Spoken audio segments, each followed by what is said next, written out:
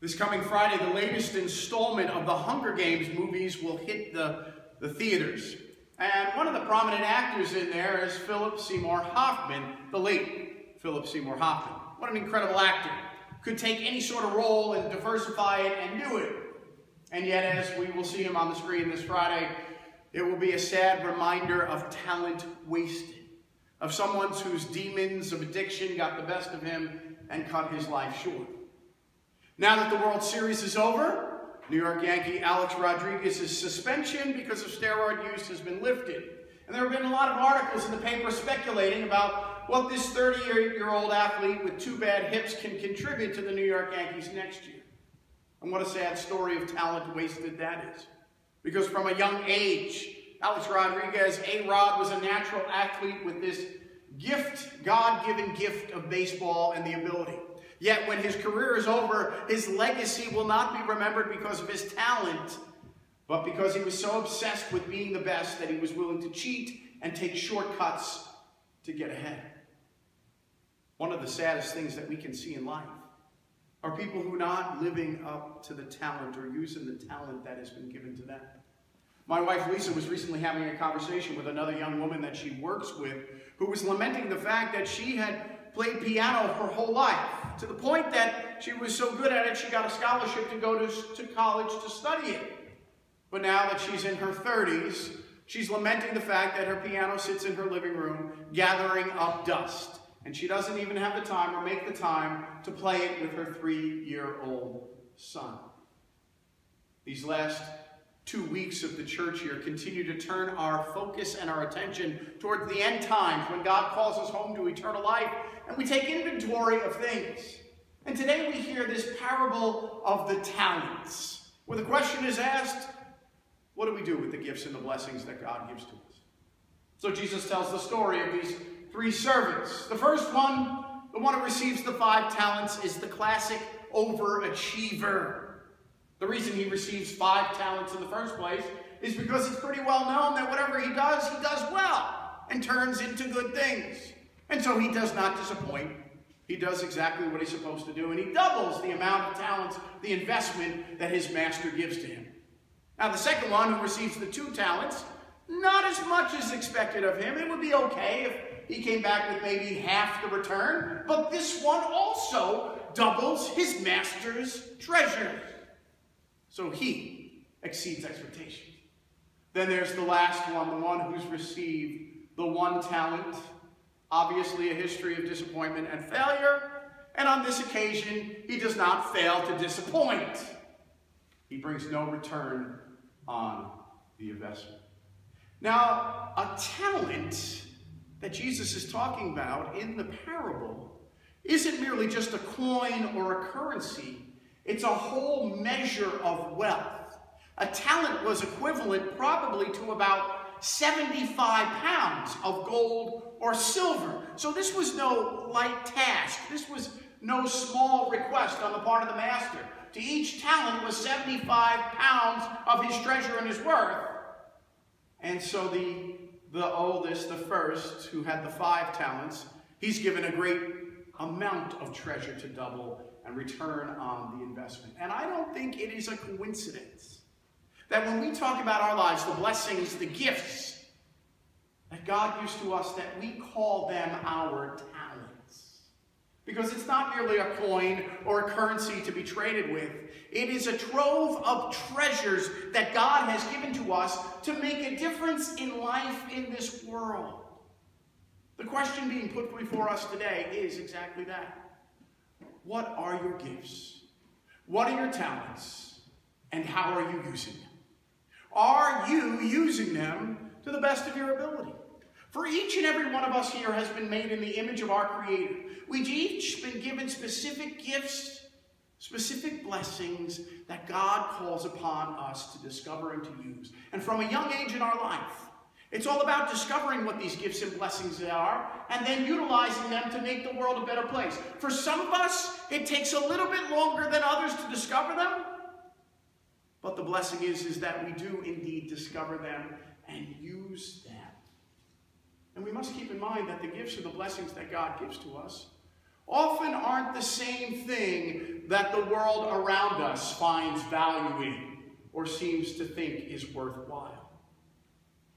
But the question for you is, what's your talent? What's that smoldering fire that's been burning in you that can't be put out? What's that thing that you wish you could cultivate and use more? What's that one thing that you don't care what everyone else thinks about in the world? You know it gives you joy and you gives you fulfillment. For that's the calling that God has put before you. To use these talents and to use these gifts to your utmost and to making the world a better place. And so often in life,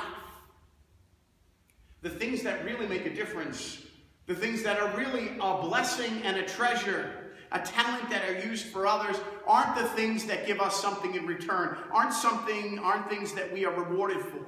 They're not the things that the world values. But so often those blessings are the things that make a real difference. The opportunity to really listen and hear what somebody has to say. An opportunity to show love. To be helping hands of support and encouragement to others to be a blessing to those who may not be as blessed. That's why it's so appropriate that today we have the opportunity to be challenged ourselves about whether or not we have the talent or the ability to work with youth and guide them to come and see the blessings that they may not know they have in their own lives. It may seem that as we hear the parable in the gospel lesson, that Jesus' message is pretty harsh, especially to that last servant. But we must keep in mind that parables are exaggerated stories told by Jesus that aren't intended to be deep theological discourses about God, but they're simple messages to give us a, a better understanding about the nature of God. And there's a lot we can take away from this parable of the talents. First of all, right up front, as the master dispenses the amounts of talents to each of the three servants, we hear that the master does this each according to their ability. God knows us intimately. He created us. He understands us. He knows our limitations. When God calls us to use our talents and our abilities, He calls us according to what He knows we're capable of and what we can do. And then at the end, when the master's chastising and yelling at the, the servant who buried the one talent and did nothing with it. The real issue there comes out of the mouth of the servant himself. He recognizes and says that he knows his master expected him to do something with the treasures that were entrusted with him, but out of his fear, he uses it as an excuse for laziness and only does is bury it till the day that the master will come back and then he can safely return it to him, doing nothing with the talents, with the treasure that's been given to him. God gives us these gifts, and God calls us to use these gifts to make a difference in the world. A difference that maybe we don't always see, but God knows that it makes a difference. Brother Angelo was a monk who studied under Francis of Assisi. And one day, Brother Angelo learned a pretty valuable lesson about sharing with others. There were some beggars that had come to him asking for food because they were hungry. But Brother Angelo knew that they were also criminals, so he chastised them and sent them away with nothing. When St. Francis of Assisi heard about this, he decided that Brother Angelo needed to learn a little lesson. So he said, This is what you're going to do. You're going to grab some bread and your wine, and you're going to take it and find these beggars apologize to them, and share with them what they needed. Brother Angelo approached this with fear and trembling because he knew where they lived and it wasn't the safest or the cleanest part of town. And he was afraid that because he rejected them, they would take it out on him in some sort of punishment. But he was surprised to find that when he got there and he apologized, that not only did they receive it with happiness and joy, but they were even willing to follow him back to the Franciscan order, where they then dedicated the rest of their lives to the service of God's kingdom. We don't always know, and we may not always see the way our talents, our blessings, our gifts, and our treasures make a difference in the world. But that's not the point. God sees it, God knows it, and God works with it. And remember this each and every one of us is sitting here today because someone in our lives at some point shared their talent and their treasure of faith with us.